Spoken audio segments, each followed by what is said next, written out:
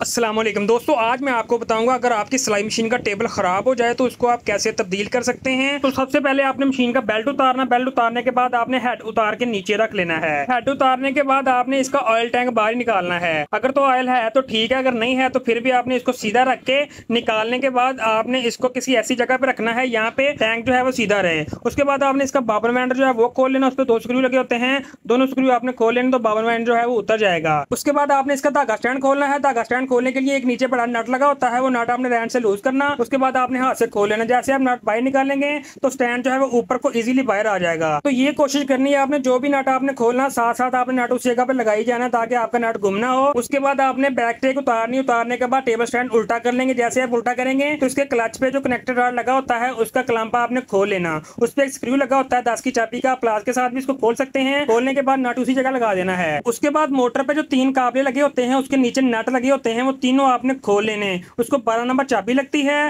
वो जैसे ही आप तीनों नट लूज करेंगे तो मोटर फ्री होकर उतर जाएगी। अगर तो क्लच मोटर लगी हुई है तो उसको भी तीन इसी तरह के काबले लगे होते हैं, उसको खोलने का तरीका भी सेम ही होता है। ये देखें, ये तीनों नट काबले जो है, वो खुल गए हैं। तो तीनों नट खोलने के बाद मोटर की बैक साइड पे जो बॉक्स लगा होता है तो तीनों नट खोलने के बाद मोटर के बॉक्स की बैक साइड पे दो जैक लगे होते हैं, वो जैक आपने इजीली उतार लेने हैं। उतारने के बाद मोटर ऊपर उठाएँगे तो मोटर और क्लच जो है, वो लहदा लहदा हो जाएँगे। उसको उतार के आपने साइड पे रख लेना है। उसके बाद बॉक्स पे चार स्क्रू लगे होते हैं। वो चारों जो है, वो आपने लूज करने लूज करने के बाद बॉक्स जो है वो फ्री हो जाएगा। बॉक्स की बैक साइड पर दो एडजस्टमेंट वाले स्क्रू होते हैं। वो दोनों आपने बाद में खोल लेने हैं। वो लूज करेंगे तो बॉक्स वैसे बाहर आ जाता है। उसके बाद स्टैंड पे चार खड़पेचे लगे होते हैं। वो चारों आपने वन बाय वन खोल लेने हैं। और यहाँ पे मैं आपको एक बात बता दूँ, जब भी आपने टेबल पर खड़पेचे टाइट करने हैं या उनको खोलना है, आपने पेचकस की मदद से ही खोलना है। क्योंकि अगर आप इसको थोड़े के साथ ठोकते हैं या वैसे आप किसी टेक के साथ इसको उतारते हैं तो यहाँ पे टेबल आपका खराब हो जाए। तो चारों खड़पेचे खोलने के बाद स्टैंड फ्री हो जाएगा। खोल के आपने साइड पे रख लेना है। उसके बाद आपने इसके जो क्लम्प है, तार वाले, वो आपने ग्लास के साथ खींच के उतार लेने हैं। और ये मोटर की जो वायर होती है, उसके क्लम्प होते हैं। न्यू जब आपने टेबल लगाना है, वो भी लाजमी लगाने हैं। तो ये वाले जो मोटर के काबले हैं, ये आपने टेबल खड़ा करने के बाद काबले जो है, वो खोल लेने हैं। खोलने के बाद आप लगाते हैं न्यू टेबल तो जिस पोजीशन पे पहला टेबल आपने खोला था, उसी पोजीशन पे आपने नया टेबल जो है, वो उल्टा रख लेना है। उसके बाद आपने जब स्टैंड लगाना है तो स्टैंड लगाते हुए आपने इसकी जो डायरेक्शन है, वो देखनी है कि जिस तरफ़ को इसका होल ज़्यादा हो, जिस तरफ़ को मशीन रखी जाती है, उस तरफ़ को पायदन होना चाहिए। तो अब हम लगाते हैं इसका स्टैंड तो स्टैंड लगाते हुए जिस जगह पे बेल्ट चलता है, वो बेल्ट से एक साइड जो स्टैंड है, वो तकरीबन एक सेंटी फासला होना चाहिए। और बार वाली साइड जो है, वो पेचकस से आपने इसका साइज़ कर लेना। उसके बाद आपने खड़पेचे टाइट करने हैं। अगर आप साइज़ करने के बिना खड़पेचे टाइट करते हैं तो आपका जो टेबल स्टैंड होगा, वो अनइवन होगा। और जब आप मशीन चलाएँगे तो आपकी मशीन जो है, वो वाइब्रेट भी करेगी और टेबल जो है, वो हिलता रहेगा। अगर आप बैलेंस में रख के इसको टाइट करते हैं तो आपकी मशीन जो है वो बैलेंस में रहेगी वाइब्रेशन भी नहीं करेगी और मशीन जो है वो चलते हुए हिलेगी भी नहीं। इसलिए आपने जब भी स्टैंड को फिट करना है तो आपने इसको बैलेंस में रख के और साइज़ में रख के फिर ही आपने टाइट करना है। यहाँ पे आप देख सकते हैं, इसका साइज़ जो है वो प्रॉपर है, इसका सेंट्राइज जो है वो प्रॉपर है। उसके बाद मैं आपको बार बार बता रहा हूँ, जब आपने खड़पेचे इसके टाइट करने हैं तो आपने चोट के साथ इसको नहीं ठोकना, आपने पेचकस के साथ चूरी टाइट करनी है। इसलिए कि आपका टेबल जो है वो मज़बूत तरीके के साथ फिट हो सके।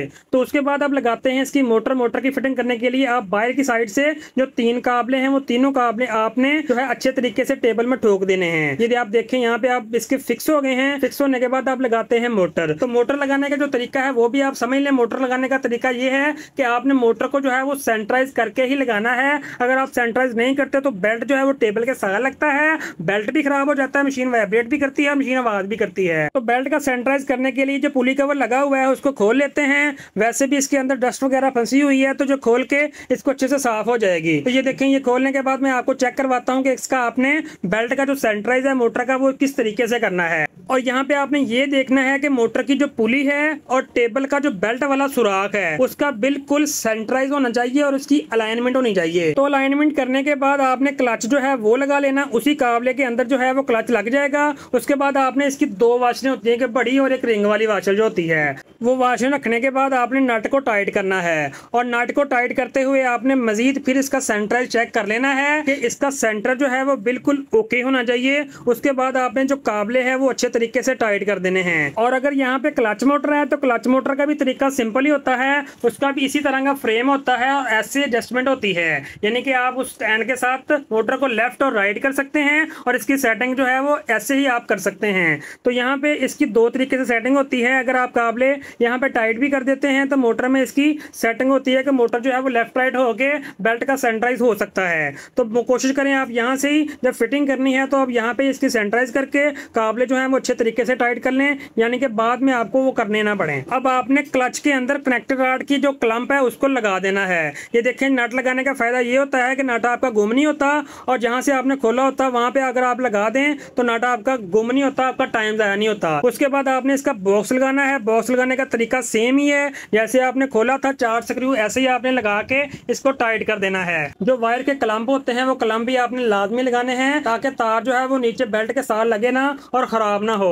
उसके बाद आप टेबल सीधा करते हैं। सीधा करने के बाद टेबल तो हमारा अब चेंज हो गया है। अब आप देख सकते हैं टेबल जो है वो कितना खूबसूरत लग रहा है। अगर आपका टेबल ख़राब होता है तो मशीन जो है वो वैसे बुरी लगने लग जाती है। तो ऐसे ही आपने टैंक जो है वो उसी तरीके से टेबल के अंदर रख देना है। वो फिक्स होता है। उसके बाद आपने लगाने हैं इसके हैंजर सेट जब भी टेबल आपने चेंज करना है, कोशिश करें आप हैंजर सेट भी साथ ही चेंज करें न्यू लगाएँ। तो इसको लगाने का तरीका जो वही है कि आपने इसकी जगह पर रख के आपने वुडन स्क्रू लेने हैं, वो अच्छे तरीके से टाइट कर देने हैं। अगर आप कील लगाएँगे तो कील जो है वो निकल आते हैं वुडन स्क्रू जो होते हैं, वो चोली टाइट होती है, वो निकलते नहीं है, इसलिए ये पक्का काम हो जाता है। ये अच्छे तरीके से आप लग गए हैं, ये खुलेंगे नहीं और ये ख़राब भी नहीं होंगे जल्दी। अगर आप फिटिंग अच्छे तरीके से कर लेते हैं तो आपकी मशीन जो है, वो वाइब्रेट नहीं करती। तो आप इसकी बैक टेक लगाते हैं। बैक टेक लगाने के बाद आप इसका स्टैंड जो है, वो टाइट करते हैं। तो स्टैंड का एक वाशर होती है, बल्कि स्टैंड की दो वाशरें और दो नट होते हैं। एक आपने वाशर ऊपर रख लेनी है और एक वाशर जो है वो आपने नीचे रखने के बाद नट जो है वो इसका टाइट कर देना है। तो कोशिश ये करनी है कि नट को आपने अच्छे तरीके से टाइट करना है कि ये स्टैंड जो है वो लूज ना रहे। तो धागा स्टैंड लगाने के बाद आप रखते हैं मशीन का हेड। हेड रखने के बाद मैं आपको बताता हूँ कि आपने बेल्ट की जो अलाइनमेंट है और जो बाबर मेंडर है वो आपने किस तरीके से टाइट करना है। देखें, ये वाला जो काम होता है बहुत ही सिंपल, बहुत ही आसान होता है।